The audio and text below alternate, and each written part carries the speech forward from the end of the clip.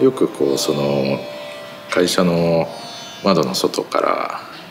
ぼーっと眺めてると、まあ、よくこうふふっとこうそれがこう別別世界の建物とか街並みに見える時があったりとかしてこんだけこう複雑で入り組んだ駅とか地下とかあとはその首都高速高速道路のもう複雑なその絡み合ったその外観もそうだしまあその人間のこう動脈というか神経というかそこはやっぱりそのいろんなこう才能を持った人たちが集まっててでその中で一緒にやらせてもらえるっていうのはすごく勉強になります。For nearly three decades, the Final Fantasy video game franchise has captivated fans with complex characters and epic worlds to explore. And now, the time has come to explore the real world behind the fantasy. I'm Ali Hillis, the voice of Lightning. This is Inside the Square. This is where the powerful visionaries behind Final Fantasy weave their magic. This is Square Enix.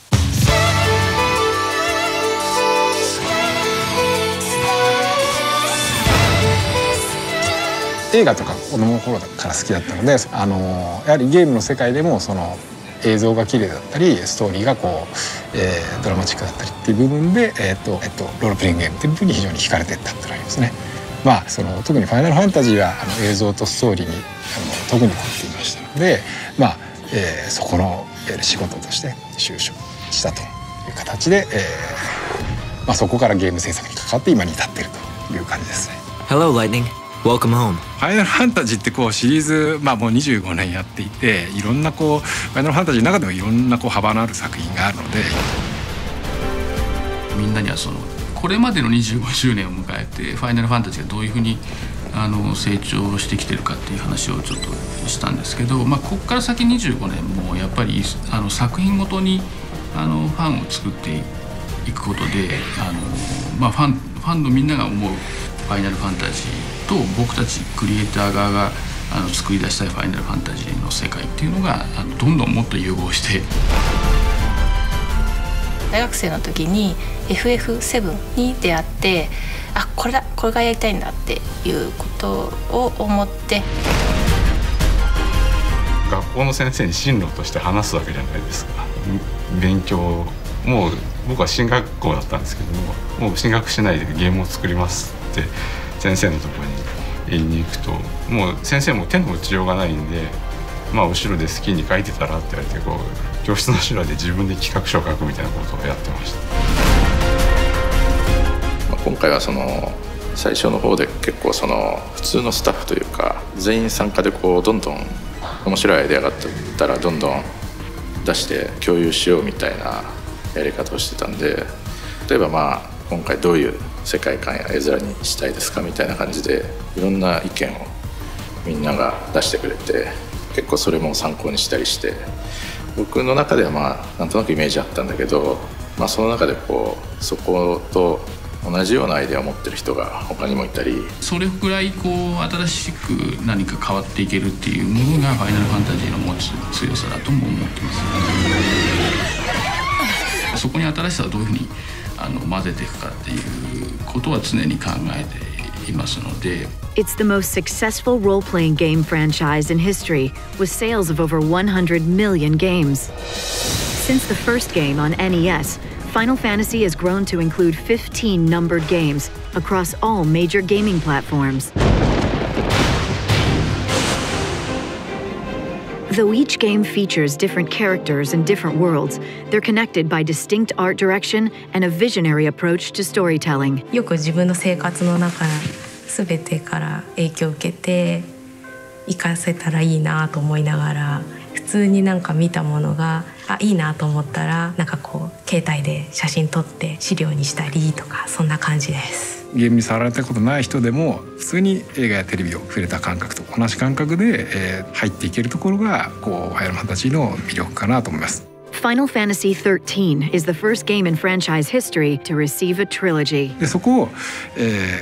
ー、壮大な神話をかっちりと作ったのでそこを全部描ききるために、えー、3作品のこうドラマにしたと。そのライトニング・リターンで、まあ、あの1作目の「ファイナルファンタジー13」からそのファブラノ・バク・リスタルスという新しいクリスタルの物語というこうクリスタルの神話っていうのはまずベースに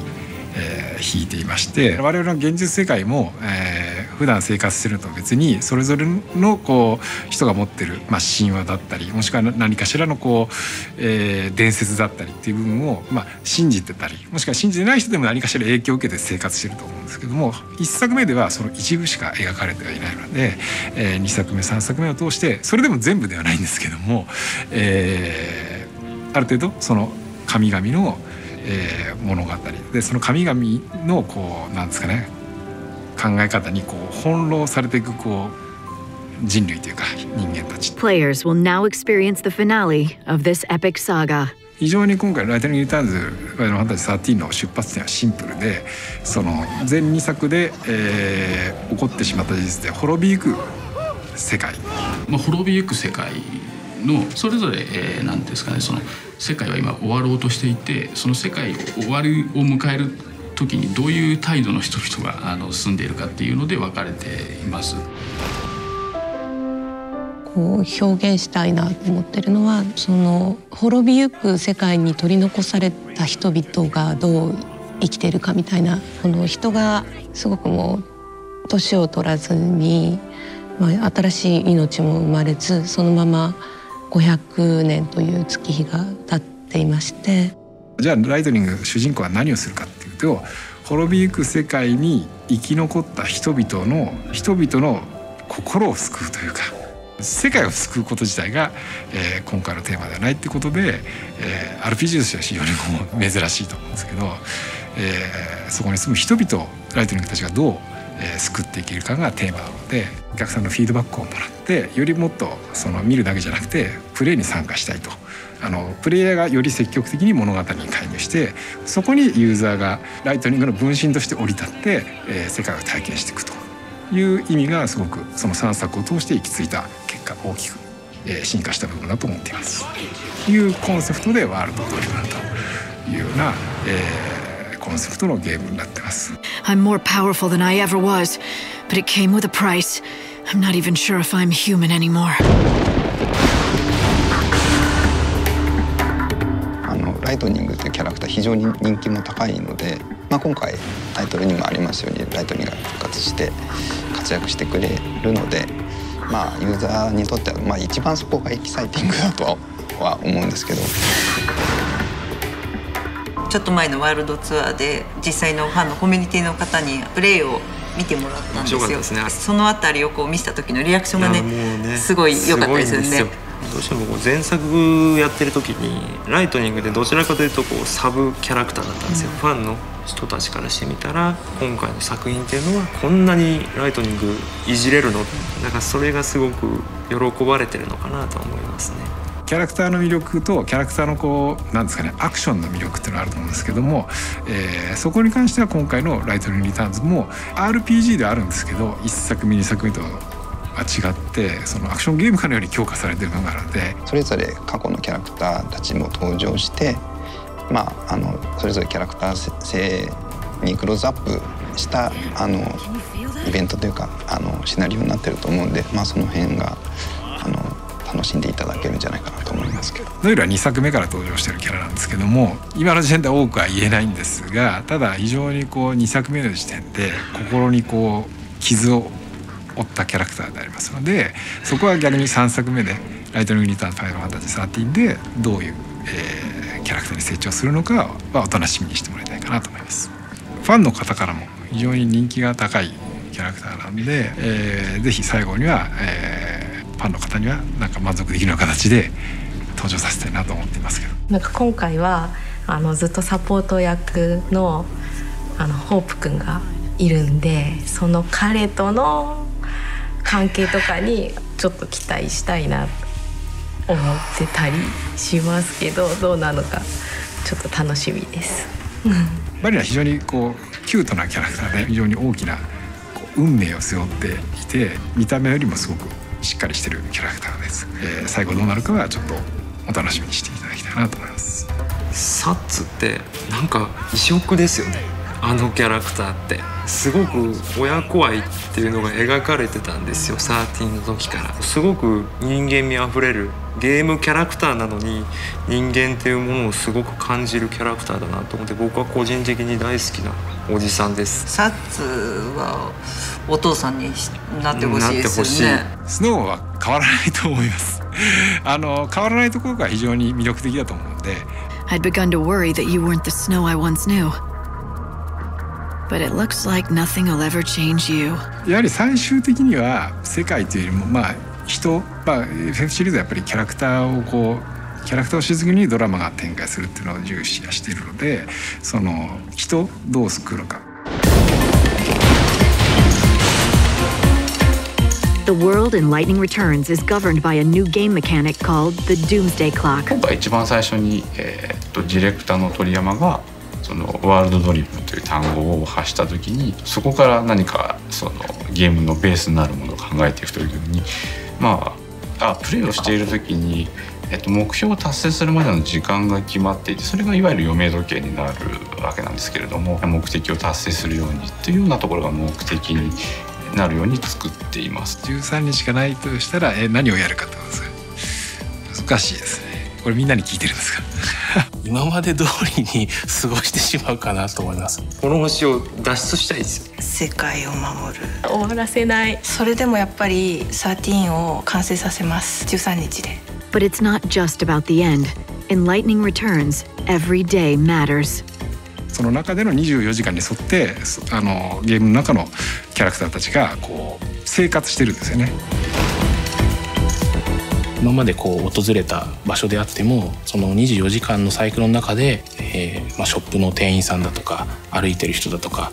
その雰囲気がどんどん変わっていくので夜は危険で昼は安全。それはあの今回登場してる国によってやっぱり違うところがあって。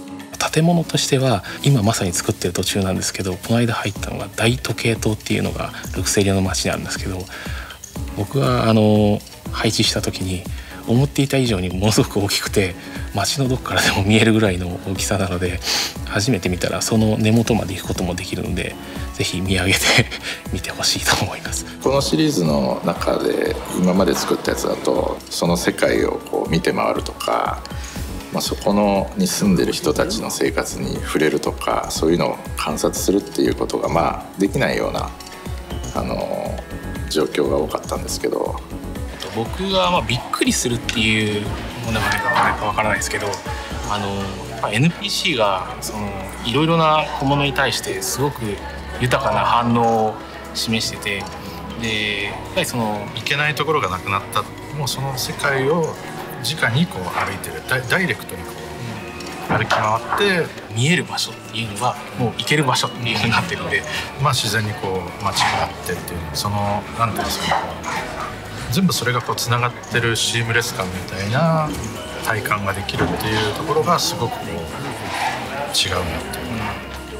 でそこの生活してる人々の中に入り込んでいくっていうのがテーマなので人々をどう救うかっていうのがやっぱり、えー、フォーカスしていこうとした理由ですね。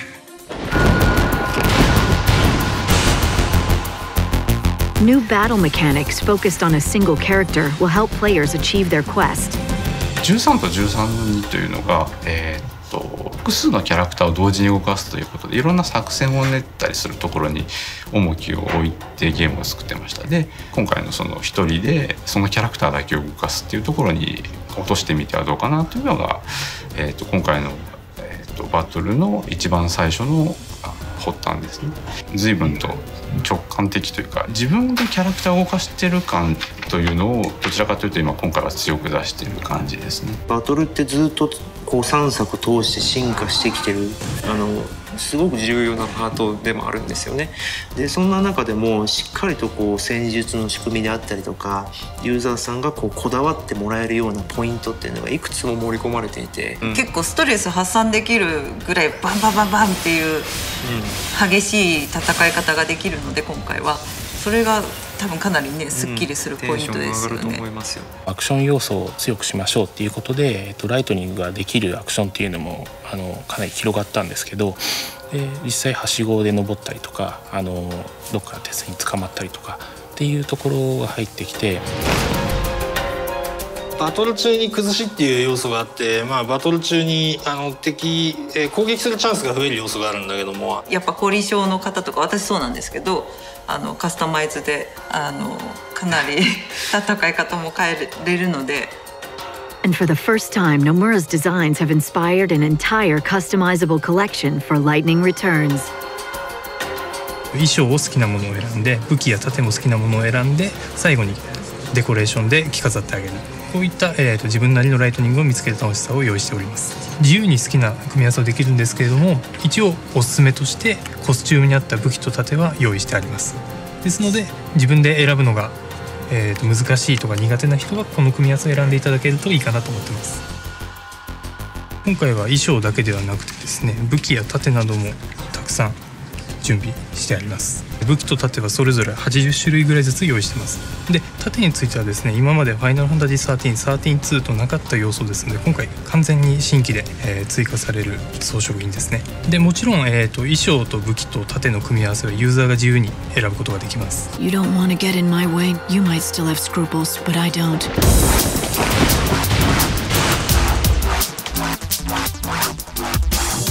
Myth and legend have always dominated the world of Final Fantasy, but they're not limited to the game. As it turns out, Square Enix has a legend all its own. Designer and artist Tetsuya Nomura. 直接お会いしたいことは少ないんですけれどなんでそこまでこうそのなんていうか、ね、CG キャラクターを人間として見れるんだろうっていうあのすごく不思議な能力を持る人ですね。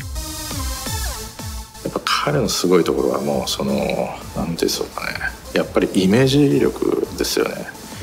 あの本当に信じられ僕でもちょっと信じられないぐらいこう正確なんですよねそれがね、まあ、よく僕もやり取りするんですけど例えばこう CG だとこう CG っていうのはこうずっとこう拡大していくと一つのこうピクセルなんですけどその1ピクセルっていうのがあって1ピクセルの何分の1ぐらいのところまでこうズレが分かるんですよね。例えば出力した絵とか見てこの目の、まあ、例えばここの部分をあの 98. 点何パーセントに縮小して左に何何ドットずらしてくれとかっていうのをこうそういう指示が来るんです。信じられない。あんなことはできない。キャラクターを、まあ、ビジュアルも含めてあのトータルでプロデュースできる例えば動きであるとかあのその衣装のまとい方こう仕草の一つとか表情の付け方のすごく細かいところまで人間として野村哲也ってのはすごく才能があるあのクリエイターだと思ってます。ライトニングを、えー、美しくかっこよく見せようっていうのが全員のあの共通の、うん、なんていうんですかね目標というか。あのまあ今まで彼女が本当にその着たことないようなタイプの衣装も作ってみようとかいろんなこう一面を見てもらえればワンの頃からは一人のこうなんですかね一人のこう選手というか選手としてっていうところだけであったのがまあ何作か回を追うことによってよりこうなんだろうな世界の運命的なものを背負うようになってきた。それはさっきのクリスタル神話にもかかるんですけども神々だったり世界の、えー、運命をだから宿命を背負ってきたって分では非常にこう背負うものが変わってきて非常にこうどんどんどんどん強くなっていっキャラクターだなと思います。I've been fighting destiny for a long time now, and I'm getting good at it. These unprecedented levels of customization not only alter Lightning's looks, they also change her abilities. トニング様がとにかくかっこいいです。動きとかすごいかっこいいですし、あの、スタイルチェンジがすごいかっこいいですよね。いっぱい服あって、はい、すごい楽しくたくさんデザインできたかなってまあ僕のお気に入りは僕のお気に入りはやっぱりあの野村野村哲也がデザインしたあのいわゆるベースになっているあの衣装はすごい、まあ、とにかくもうライトニングのかっこよさを堪能してもらえればと。I'd introduce myself, but I'm guessing that you already know who I am. Music is another way the creators bring the world of Lightning Returns to life. こはやっぱりライトニングが活躍するのが今回のゲームなので音楽もいわゆる一番最初の13の時のライトニングの先行っていうテーマのフレーズがいろんなとこに出てくる、まあ、どっかしらなんか彼女の存在を感じさせるものに音楽もなればいいな。そういうものを目指して作ってると思います。これからの「ファイナルファンタジー」がどうなっていくのかの礎みたいなものを今作ってるっていう感覚があると思うんでエスニックな要素がいろんなとこに入ってきてるのかなっていう印象があって。で具体的にはあのー、まあ、結構パーカッシブな、あのー、感じが結構こう前に出てたりとかまあ最終的には面白いかどうかにつなげないといけないっていうところは多分ゲーム特有でゲームのサウンドディレクターっていうのはそこだけがとにかく最終ポイントとしても ゴール地点にして一生懸命考えるっていう仕事だと思ってます。フォーリーサウンドってあくまでその絹ずれとか、まあ、フットステップって呼ばれる足の歩いてる音とか The result is the most dramatic Final Fantasy score yet. 聞いてもこう心に残るようなものを自分では目指して作ってるつもりなので音楽もやっぱりゲームの中ではただの一つの演出要素なわけですよね音楽が一つのゲームを盛り立てるための一個の材料であって信夫さんっていうそのイメージっていうのがやっぱり「ファイナルファンタジー」は結構ずっとつきまとってる部分があると思うんですね。今僕たちがその「ファイナルファンタジー」っていう作品の音楽を担当させてもらってるっていうのはそこをやっぱりリスペクトしながら今の僕らの世代っていうのが違うものを表現しないとダメっていうところに来てるんですね。This art and music, along with architectural inspiration from Tokyo itself, combines to create a unique new world. 作ってて楽しいことの一つが取材ですかね街を歩いてたりとかして見かける風景とか建物とか写真とか写真をよく見るんですけれども参考物とかで。ででも実際に行ってそのスケール感とか空気感とか肌で感じてきたもの。っていうのも意外と大きくってそれを大事にしたいしたいんですけど。築地良かったですね、うん、意外とあのレトロな感じの。ちょっと匂いだけを我慢 東京が結構いろんなやっぱりあ、えー、すぐ行ける場所にいろいろなこうロケーションがあったりして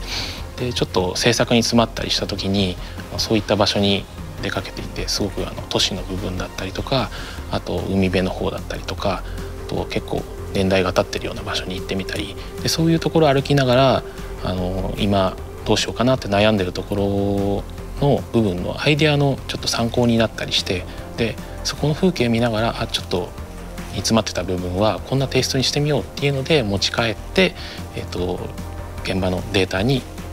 えー、流し込むとかっていうことはやったりはしてましたね。再現するわけではなくそこを取っかかりにして、まあ、新しい見たことないオリジナリティのある世界観を作り上げていくっていう感じで考えました今回の、えーと「ライトニング・リターンズ」はノバ・クリサリアっていう新しいあの世界です。まあ、最初は一つの小さな島でを作ろうっていうのであの立ち上がったんですけどそこからこうだんだんアイデアが入っていくにつれこう最初小さな島だったのがだんだん広がっていってでそれぞれの島に分かれていってそこに特色が出始めてで一つはその例えば死を前にして平穏に神様に祈りながらこう生活をする静かな人たちが暮らす、まあ、ルクセリオっていう宗教都市があります。信仰心とあとはそのあの混沌としたこうまあ犯罪者というかとはあの自然地形ですね本当にあの緑豊かなところ広い世界を歩けるような、えっと、ビルダネスっていうところと、まあ、森の中にはまたちょっとした集落があったり前作にも登場しているあの遺跡の名残みたいなのが砂漠と,、えーと、岩がたくさんあるそのレッドデューン。その中にまあこう海岸線があって海が広がってたりあのここもなかなかその面白いロケーションかなというふうに。もうせめて終わ終わってしまう世界だったら楽しく暮らそうよっていうあのすごく凶楽の都あのユスナンっていういろんな楽しみを埋めるように例えばなんかパレードがあったりとかあの噴水でショーがあったりとかあの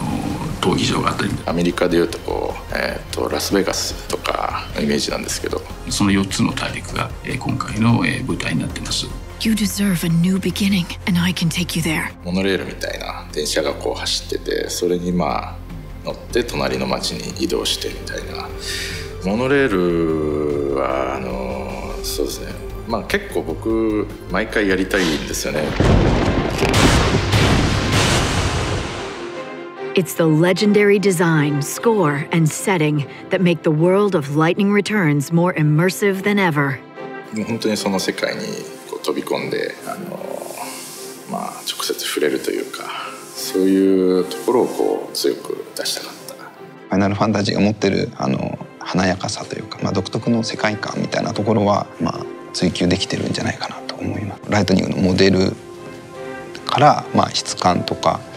えーとまあ、表情の動かし方とか、まあ、全てを、まあ、一応あの一から見直して、えーとにかく新しい新しくもあり、まあ、今までのライトニングをさらにこうバージョンアップというかスケールアップさせて表現しようっていうのが、まあ、ビジュアルワークスの今回の意気込みというか 狙いというかねコンセプトですね。今ほとんどベースのアニメーションはモーションキャプチャーで撮ってしまうんですね Like I said, I don't have anything to hide.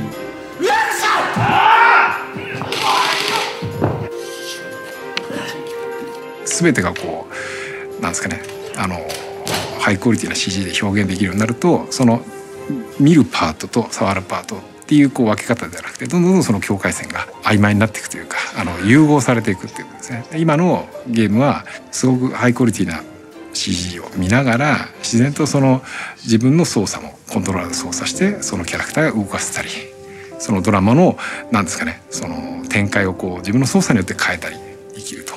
いう部分に進化していってるのでよりこう綺麗なビジュアルでありながらもより没頭できるような、えー進化を遂げてきてるのかなと思います。I bring you salvation! Every aspect in the conclusion of this epic saga is poised to excite fans and attract new players to the franchise. Yet none of this would have been possible without the leadership of visionary director Motomu Toriyama. すごく巨大なプロジェクトなのであのともすれば見失っちゃう時なんですよね。一つのビジョンに向けて、えーチーム全体を持っていくという。そこが強みだと思います、はい、ものづくりに情熱をかける方ですしこれぐらい真摯にやらないとダメなんだなってものすごく考えさせられる上司ではあります。自分の表現したい世界が先に来て、まあ、ディレクションする立場になったこともあって自分の表現したい世界っていうのはそれぞれのスタッフが持っていただいたものをあのうまくまとめ上げていくっていうやっぱりグループで作ってるっていうのをすごい意識してるんでだからすごくあの今回新しくライトニングターズから始める人でも、えーなんですかね予備知識なかったとしてもストーリー的にもすんなりと入ります。まあ、今回は やっぱりライトニングの最後の作品っていうことできっとあの「ファイナルファンタジー13」から13-2へ来たぐらいのあの変化の度合いだとみんな思ってると思うんですけどもうゲームの中身がもうガラッと変わってるしあの、まあ、例えばシリーズものであのきっと見たことのあるマップとかまた歩くのかなと思うこともあるかもしれないけど実はほとんどのリソースあのグラフィックのその背景ですね世界を作ってるリソースは全部一新してるのですごく新鮮なあの冒険が楽しめると思います。